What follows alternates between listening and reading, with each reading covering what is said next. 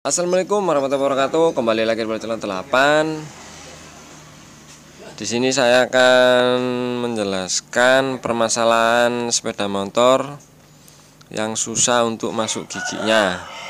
Kalau perselengi ku angel. Entah iku gigi siji, loro, telu, papat. Itu angel.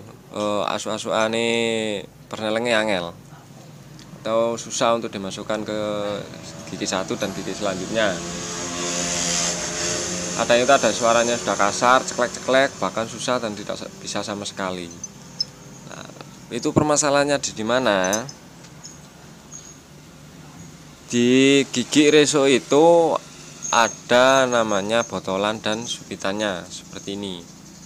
Ini kalau saya eh, namanya ya subitan gitu aja.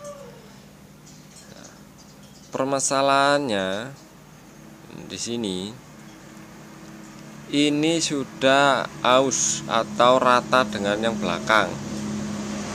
Nah, tonjolannya ini udah berkurang.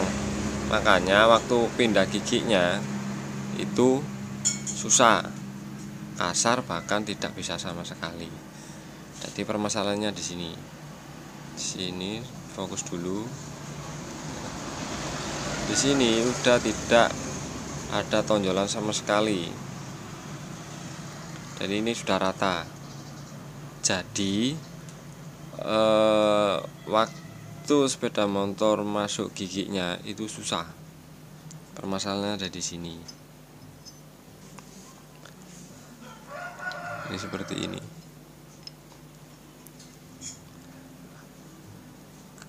Kalau gigi dimasukkan ini bergerak naik turun. Akan memindah gigi satu dan seterusnya jadi sekali lagi kendala dari gigi resonya atau perselang itu angel iki wis rata dengan yang belakang.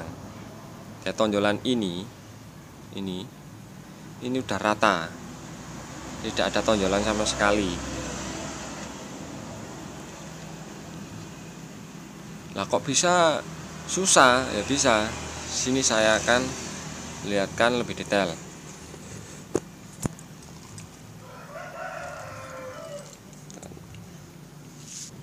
Nah, seperti ini. Ini kalau gigi dimasukkan, ini akan bekerja untuk memindah gigi resonya. Kerjanya kurang lebih seperti ini. Nah, biasanya kalau gigi eh, spitan ini tonjolannya ini, ini udah aus atau udah rata, bahkan rata dengan yang belakang secara otomatis waktu pemindahan gigi sini nah gini ini masih terganjal tidak bisa membuka penuh. Seperti ini. Nah di sini ini ini ini masih terganjal seperti ini. Tidak bisa naik semua gini. Nah kalau naik kan bisa. Nah kalau aus ini masih posisi agak ke bawah. Ini. Nah sini. Kalau spitannya ini tonjolannya bagus ini langsung naik. Langsung oper kayak gini. Nah kayak gini. Tapi kalau tonjolannya udah aus bahkan rata ini naiknya tidak maksimal kayak gini. Akan terhambat jadi waktu giginya naik uh, dimasukkan ini naiknya penuh terbuka. Kayak gini.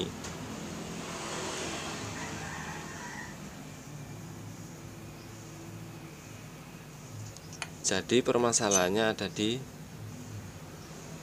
sebetulnya sini solusi untuk penanganan ini ini ada tiga cara. Yang pertama ya dibelikan saja yang baru. Tapi di daerah saya cari ini agak susah.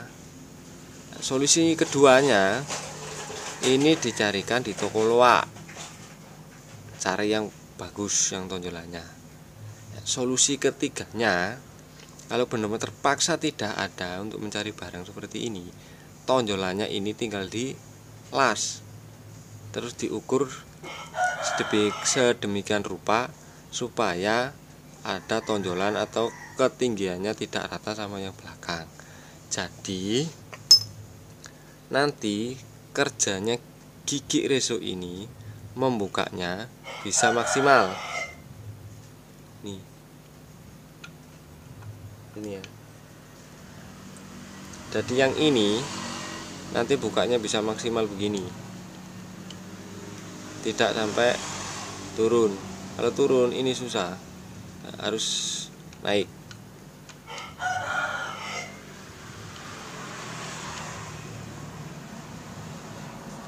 Jadi untuk teman-teman yang sepeda motornya angel diasuk no susah untuk dimasukkan gigi satu atau seterusnya. Itu belum alamat. Belum tentu itu gigi irisonya yang bermasalah. Apa protol? Belum tentu. Kebanyakan masalahnya ada di sini. Jadi ini tinggal dicarikan atau dibawa ke tukang bubut. Nanti jelas diratak e, tonjolannya dibentuk ulang oke teman-teman sekian dari saya. Semoga bermanfaat. Jangan lupa subscribe karena subscribe itu gratis.